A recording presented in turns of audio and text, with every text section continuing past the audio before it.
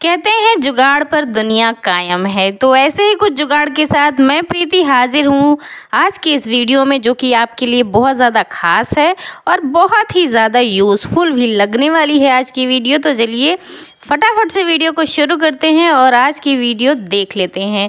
मेरी जो पहली टिप है, हमारे जो स्पेस नहीं होते हैं अलमारी में ना, उससे रिलेटेड है। अभी तो ठंड चल रही है, काफ़ी मोटे मोटे जैकेट्स होते हैं स्वेटर्स होते हैं, जो कि हमें एडजस्ट करना पड़ता है। एक ही दो अलमारी किसी के घर में होती है तो उसी में एडजस्ट करना पड़ता है। तो उसे किस तरीके से फ़ोल्ड करें कि आसानी से हम अपनी अलमारी में स्पेस बना सकें?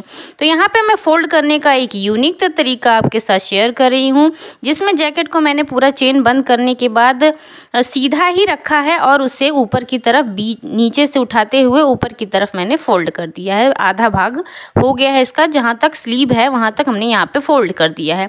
अब स्लीव एक उठाएँगे और जो हमने फ़ोल्ड किया था हिस्सा, उसी के अंदर इसको इन कर देंगे और फिर दूसरा स्लीव भी उसी तरीके से अंदर हम लोग डालते हुए चले जाएँगे। फिर क्या करना है? अब बचा है हमारा जो ऊपर का पोर्शन है, उसे एक बार फोल्ड करेंगे और उसके बाद दोबारा जो हमने पहले फ़ोल्ड किया था ना उसी के अंदर इन कर देंगे। और ये हमारा जो फ़ोल्ड किया हमने जैकेट, कितने थोड़े से में फ़ोल्ड होके आ गया है और हम कहीं भी कितनी भी सारी जैकेट किसी भी अलमारी में रख सकते हैं। जब ठंडक ख़त्म होगी ना तो फिर हम बेड बॉक्स वगैरह या बॉक्स में भी हम इसी तरीके से अच्छे से फ़ोल्ड करके किसी भी बैग में डालकर उसे आराम से रख सकते हैं, जिसमें कि हमारी बहुत सारी जगह बचेगी, काफ़ी सारा स्पेस हम सेव कर पाएँगे। तो अगर आपके पास कई सारी जैकेट हैं और आपको उसको फ़ोल्ड करना है तो एक तरीका और है कि आप इस तरीके से पहले तो जैकेट्स को फ़ोल्ड कर लीजिए, जो कि तरीका मैंने आपके साथ शेयर किया कि हाफ़ फोल्ड करने के बाद स्लीव को एन कर लीजिए। इन करने के बाद जो हमने फ़ोल्ड किया हुआ हिस्सा है, उसमें ऊपर का भी पार्ट अंदर की तरफ़ डाल देंगे। ये हमने फ़ोल्ड कर लिया। अब अगर आपके पास ढेर सारे जैकेट हैं, बहुत सारे मेंबर हैं आपके घर में तो एक जैकेट आपने इस तरीके से फ़ोल्ड की, दूसरी जैकेट भी फ़ोल्ड की और दूसरी जैकेट को आप मतलब जैसे ढेर सारी जैकेट हो गई तो एक ही जैकेट में जो स्पेस बचता है अंदर की तरफ़ काफ़ी ज़्यादा जगह है, देखिए तो उसी जगह में हम एक और जैकेट को डालकर रख सकते हैं। तो फिर क्या होगा, जगह बहुत ही कम खर्च होगी और कितने ही सारे स्वेटर, जैकेट्स वगैरह हम एक ही अलमारी में और थोड़े से जगह में भी रख पाएँगे, हम अपना स्पेस सेव कर पाएँगे। और ये जुगाड़ मुझे लगता है कि आप लोगों को काफ़ी ज़्यादा पसंद आया होगा। आप भी विंटर के जितने भी स्वेटर, जैकेट हों, इस तरीके से फोल्ड करके रख लीजिए, चाहे तो जब विंटर ख़त्म होगी, तब आप बेड बॉक्स या बॉक्स में रखिए, या फिर विंटर में आप अलमारी में भी एडजस्ट करके इस तरीके से रख सकते हैं। इसी तरीके से हम लेडीज़ की कार्डिगन वगैरह होती है ना, उसको भी थोड़े से में फ़ोल्ड किस तरीके से कर सकते हैं। वो भी आज मैं आपके साथ शेयर कर रही हूँ। पहले से वैसे अच्छे से आप सीधे में रख दीजिए। और उसके बाद ऊपर की तरफ़ सीधे में सीधे में ही आपको फोल्ड करना है। ऊपर की तरफ़ और स्लीप को इस तरीके जैसे मैं कर रही हूँ, वापस से आप खोल दीजिए। दोनों तरफ़ से इसी तरीके से कर दीजिए और पूरा स्लीव हमें बाहर की तरफ़ रखना है, अंदर की तरफ़ थोड़ा थोड़ा हमें फोल्ड करना है और उसके बाद ऊपर का पार्ट नीचे की तरफ़ और नीचे के पार्ट ऊपर की तरफ़। इस तरीके से जैसे आपको वीडियो में दिखाया जा रहा है। अब उठाइए एक तरफ़ की स्लीव को आप अच्छे से उसको मतलब सही करने के बाद।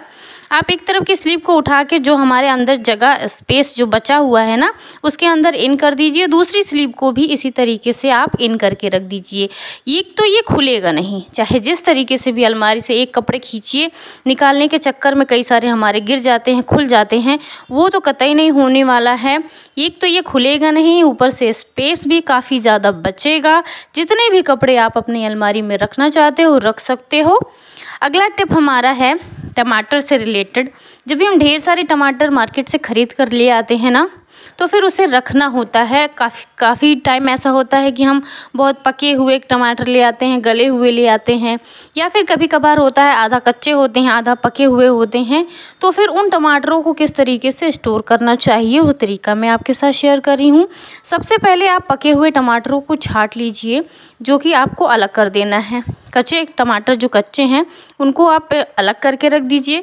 जो पके हुए टमाटर हैं, उनको आप अलग कर लीजिए, क्योंकि हम इसको अलग अलग अलग रखेंगे। अलग अलग रखने से क्या होगा? कि जो पक गए हैं टमाटर, जो जल्दी ख़राब हो सकते हैं, हमें लगता है कि ये जल्दी ख़राब हो जाएँगे, उन्हें हमें पहले बना लेना होगा। जो अधकच्चे हैं थोड़े सा कच्चे हैं, वो लंबे टाइम तक चल सकते हैं, उन्हें आप अलग रखिए। अलग रखने से ये होगा कि जो भी हाथ में आए, वही आप नहीं बना लेंगे। आपको पता है कि हमें पहले कौन से टमाटर खर्च करना है? तो पहले तो मैं यहाँ पर मैं जिप लॉक बैग ले रही हूँ। अगर आपके पास जिप लॉक बैग नहीं है तो आप कोई भी पॉलीथीन वगैरह भी लेके उसमें भी रख सकते हो, कोई दिक्कत नहीं है। तो मैंने जो पके हुए टमाटर थे, उनको एक बैग में कर दिया है और इसे ही पहले बनाना होगा इसे ही पहले खर्च करेंगे। तो जो हमारे कच्चे टमाटर हैं, तब तक वो पक जाएँगे और जो हमारे पके हुए टमाटर हैं, वो ख़राब नहीं होंगे। तो इस तरीके से हम इसे लंबे टाइम तक फ्रिज में अपने स्टोर करके रख सकते हैं। आप भी अगर ऐसे टमाटर ढेर सारा ले आते हो ना घर में तो इस तरीके से उसको स्टोर कर सकते हो और उसी तरीके से आप उसे यूज़ भी कर सकते हो, जिसके वजह से आपके टमाटर जल्दी चलेंगे। मतलब जल्दी ख़राब नहीं होंगे, काफ़ी लंबे टाइम तक चलेंगे। और ये टिप मुझे लगता है कि आपको ज़रूर पसंद आई होगी। अगर पसंद आई होगी तो लाइक ज़रूर कीजिएगा। हमारे जो सेफ्टी पिन होते हैं ना जब भी हमें ज़रूरत पड़ती है कहीं जाना हुआ, अभी तो शादियों का सीज़न चल रहा है, कहीं ना कहीं जाना ही पड़ता है। और अचानक से जब काम लग गया, अब तो अक्सर ही ऐसा होता है कि वो नहीं मिलते हैं। हम ढूंढते रहते हैं और वो नहीं मिलते हैं। छोटी चीज़ें हैं तो इधर उधर हो जाती हैं। जिनके घर में बच्चे होते हैं, उनके घर में तो अक्सर ये चीज़ हो जाती है कि वो समय पर चीज़ें नहीं मिलती है, जो छोटी चीज़ होती है। तो यहाँ पे एक माचिस की खाली डिब्बिया मैंने ले ली है। अक्सर ही माचिस घर में खाली हो जाती है डिब्बी तो उसको फेंकने की बजाय एक आध डिब्बी में आप इस तरीके से सेफ्टी पिन को रख दीजिए और एक ऑर्गेनाइज़र जैसा ही होता है, ये आराम से खुल जाता है, आराम से बंद हो जाता है और फिर आप कहीं भी इसको रख दीजिए। तो इसमें से तो पहली बात कहीं गिरेगा नहीं, कहीं जाएगा नहीं और उसके बाद जब भी आपको ज़रूरत होगी तो आप माचिस के डिब्बी को खोलेंगे, एक सेफ्टी पिन निकालेंगे, यूज़ करेंगे और फिर बस आदत में हमारी ये होनी चाहिए कि हमने जहाँ से चीज़ें उठाई हैं, वहीं हम रख दें। अगला टिप है हमारा, हमारे जो चश्मे होते हैं, उन्हें साफ़ करने से रिलेटेड क्या होता है ना? कई बार हम इसे यूज़ करते करते कहीं भी रख देते हैं। हाउस वाइफ होती हैं ना तो वो किचन में अक्सर ही रख देती हैं। मेरे साथ तो ये अक्सर ही होता है। तो हमारा जो चश्मा होता है, काफ़ी ज़्यादा गंदा हो जाता है, स्क्रचेज आ जाते हैं उसमें। तो यहाँ पर मैंने लिया है विनेगर और एक कॉटन का टुकड़ा ले लिया है। विनेगर को मैं उसमें डिप करूँगी हल्का सा। डिप करूँगी वेनेगर से, जिससे कि जो कॉटन है, जो रुई हमने ली है ना, वो अच्छे से उसमें से भीग जाए वेनेगर से। ज़्यादा नहीं लेना है थोड़ा सा हल्का सा उससे वो गीला हो जाए और उसके बाद रुई को पूरी तरीके से भिगो कि आप जो ग्लास है हमारे चश्मे का, उस पर अच्छे से हल्के हल्के हाथों से आप घुमा दीजिए। इसमें काफ़ी अच्छा क्लीनिंग एजेंट होता है विनेगर में, या अच्छे अच्छे घावों को धोने के काम में भी आता है तो फिर ये तो सिर्फ़ छोटा सा ग्लास है। तो आप इसे अच्छे से रब कर दीजिए हल्के हाथों से, और उसके बाद इसे अच्छे से इसका जो पूरा ही आप साफ़ कर सकते हैं। कभी कभार क्या होता है, मैं इसे पर्स में डाल के ऐसे ही लेते जाती हूँ तो ये अक्सर ही गंदा हो जाता है तो मैं ऐसे ही इसे अच्छे से क्लीन कर लेती हूँ। तो ये बहुत अच्छे से क्लीन हो जाता है, उसके बाद इसे दो मिनट हम ऐसे ही छोड़ देंगे। थोड़ा सा सूख जाने के बाद फिर इसे हम बहुत ही पतले कपड़े से, जो बहुत सॉफ्ट हो, बहुत मुलायम हो, उसी से आप इसे हल्के हल्के हाथों से साफ़ कर लीजिए। सॉफ्ट ये चुन्नी है मेरे पास, उसी से मैं इसको क्लीन कर ले रही हूँ। और उसके बाद क्लीन करने के बाद इसका जो रिज़ल्ट आएगा ना, वो आपको चौंका देगा, काफ़ी अच्छे से साफ़ हो जाता है। एकदम जैसे मतलब पहले होता है धुंधला धुंधला सा दिखाई देता था स्क्रैचेस थे तो वो सब भी हट जाते हैं और काफ़ी अच्छे से ये क्लीन हो जाता है। तो अगर आपके चश्मा जो है, होता है, जो आप यूज़ करते हो, वो बहुत जल्दी जल्दी इस तरीके से गंदा हो जाता है और धुंधला सा दिखाई देने लगता है ना, उससे तो उसकी ग्लासेस को आप इस तरीके से साफ़ कर सकते हो। देखिए, अभी कितना ज़्यादा अच्छे से ये क्लीन हो चुका है और मेरा जो काम है वो बन चुका है। मैं तो चश्मा यूज़ करती हूँ, अगर आप भी यूज़ करते हैं तो आप ये तरीका आजमा सकते हैं। गैस स्टोव को लेकर ये टिप है मेरी।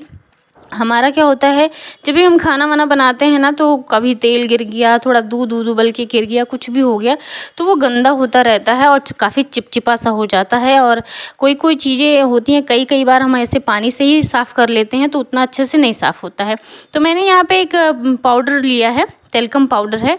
तो पहले तो स्टैंड हटा दिया था, उसके बाद सारे पूरे स्टोव पे मैंने, गैस स्टोव पे स्प्रिंकल कर लिया है इन पाउडर को। इस पाउडर को मैंने स्प्रिंकल करने के बाद थोड़ा सा डिश वॉश लिया है। आप चाहे तो शैम्पू ले सकते हैं या फिर ईजी ले सकते हैं, या फिर डिटर्जेंट भी ले सकते हैं और उसको एक स्क्रबर लेके आप अच्छे से स्क्रब कर लीजिए, अच्छे से स्क्रब कर लीजिएगा। जितना भी तेल होगा, जितना भी स्टिकी हो जाएगा, ये जितना दूध वगैरह गिरा होगा, जितनी भी चमक इसकी चली गई हो होगी ना, वो एकदम से अच्छे से ये क्लीन हो जाता है, एकदम चमचमा उठता है। ये तरीका मैं कई बार यूज़ कर चुकी हूँ तो मुझे काफ़ी ज़्यादा पर्सनली बहुत पसंद है। या तो कोलगेट से साफ़ करना या फिर टेलकम पाउडर से भी हम साफ़ करते हैं तो भी अच्छे से ये क्लीन हो जाता है। जितना ये तेल वगैरह से चिपचिपापन आ जाता है, इस तरीके से साफ़ करने से वो बहुत अच्छे से क्लीन हो जाता है। और उसके बाद कोई भी एक कपड़ा ले लीजिए। मतलब जैसे गीला हो हल्का सा कपड़ा, उसी कपड़े से आप अच्छे से पोछ दीजिए। और ये एक जितना भी कहीं भी कुछ भी लगा हुआ होगा ना, वो अच्छे से क्लीन हो जाएगा। आप अपने किचन के टाइल वगैरह को भी ऐसे क्लीन कर सकते हो, वो भी बहुत अच्छे से चमचमा उठेंगे, बहुत अच्छे से क्लीन हो जाते हैं। तो ये तरीका मुझे काफ़ी ज़्यादा अच्छा लगता है। अब मैंने गीला कपड़ा ले लिया है और उसी से अच्छे से पोछ के उसके बाद मैं आपको दिखाती हूँ कि हमारा जो गैस स्टोव है, क्या वो साफ़ हुआ है या नहीं। तो आप भी रिज़ल्ट देख लीजिए, काफ़ी अच्छे से ये क्लीन हो चुका है, एकदम चमाचम हो गया है और जितना भी तेल वगैरह, दूध का दाग था, सब कुछ निकल गया है बहुत अच्छे से क्लीन हो चुका है। आई होप आज का वीडियो आपको पसंद आया होगा। अगर पसंद आया होगा तो लाइक शेयर कॉमेंट कीजिए और मेरे चैनल पर नए होंगे ना तो सब्सक्राइब ज़रूर कीजिएगा। चलिए, मिलती हूँ नेक्स्ट वीडियो में, तब तक के लिए bye bye and take care और नमस्ते।